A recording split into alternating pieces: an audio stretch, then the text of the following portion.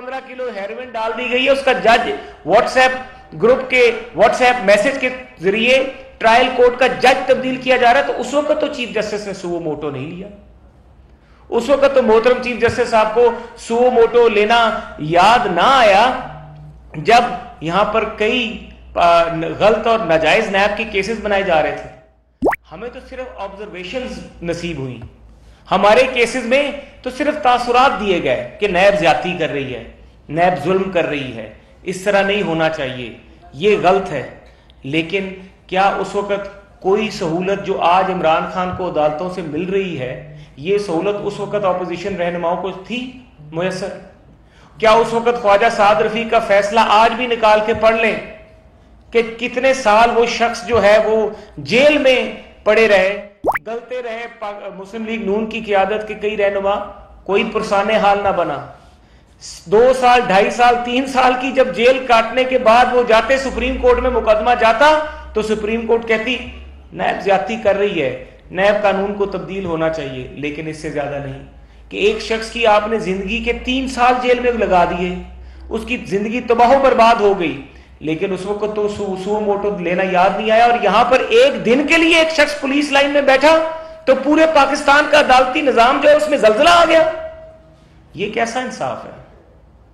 अगर इंसाफ के तकाजे, अगर मेज़रमेंट का जो स्केल है वो यही होगा तो फिर पाकिस्तान की जो अदलिया है, इसकी रैंकिंग में इंटरनेशनल रैंकिंग में, हम यकीनन 140वें या 150वें नंबर पे जाएँगे कि अगर हमारी जो मुनसफी है, उसमें बैलेंस नहीं नज़र आएगा।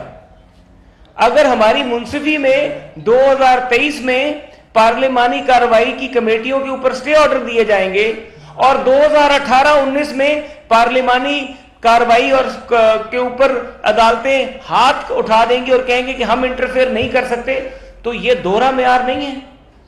अगर इस तरीके से तोशा खाना केस को आप देख लें कि तोशाखाना केस में एक जज को, ज़फ़र इकबाल को किस तरीके से कलैप्स कराया गया?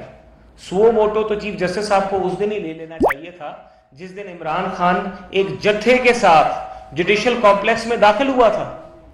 जिस दिन ऑर्डर शीट ही गुम गई थी, एक शख्स चोरी करता है, डकैती करता है, आप उसको इतनी प्रोटेक्शन देना शुरू कर देते हैं कि उसको अदालतों पर हमले करने की इजाज़त दे देते हैं। लोअर जुडिशरी के जजेस की जब तस्वीरें तहरीक इंसाफ के लोगों ने ट्वीट की। लोअर जुडिशरी के जजेस की तस्वीरें और उनके पते। तहरीक इंसाफ के मेंबर्स ने जब ट्वीट किए, सुओ मोटो तो उस वक्त ले लेना चाहिए था। क्योंकि आप उन उन, वो सरप्रस्ती करते हैं लोअर जुडिशरी के जजेस के। जेबा चौधरी का वाक्य हो। ज़फ़र इकबाल कलेप्स कर गए। एक जज को मैं खुद उस दिन जुडिशियल कॉम्प्लेक्स में था, मैंने अपनी आँखों से हाल देखा कि आपने एक प्री प्लान तरीके से एक शख्स हमलावर होता है जुडिशियल कॉम्प्लेक्स पे जज मेंटली तौर पे कलेप्स कर जाता है, उसके सामने हज़ारों का जत्था बंदा लेके अंदर आ जाता है। तो जो सहूलत उसको मैसर की, उस पर तो सुबह मोटो ने लिया कि आपको किस तरीके से परमिशन है कि आप पूरा जुलूस लेके अदालत में जाए? जब आपने एक चोरी की है, एक डकैती की है तोशा खाना से माल बनाया है, पैसा चोरी किया आपने और बुशरा बेगम ने तो फिर उसके बाद आपके पास ये इख्तियार है कि आप जब जब भी आप पर फर्द जुर्म लगने लगे आठ माह से सितंबर में तोशा खाना का फैसला आया। सितंबर, अक्टूबर, नवंबर, दिसंबर, जनवरी, फरवरी, मार्च। आठ माह गुजर गए। तकरीबन आठ माह गुजरने के बाद एक शख्स पे फर्द जुर्म तो नहीं लगी? नवाज़ शरीफ का तो मुकदमा आपने चंद दिनों में फैसला कर दिया।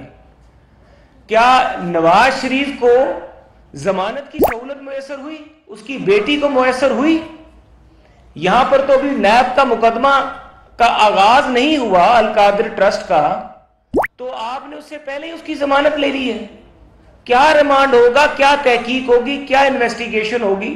आप तोशा खाना केस में प्रोसीडिंग्स को रोक देते हैं। प्रोसीडिंग्स के ऊपर स्टे ऑर्डर कर देते हैं। तो क्या यह सहूलत आपने नवाज़ शरीफ को मैसर की थी? क्या यह सहूलत शहबाज शरीफ को मैसर थी? क्या यह सहूलत हमजा शहबाज फरियाल कारपुल, खुर्शीद शाह और बाकी जितने भी हमारे लोग थे, रहनुमा थे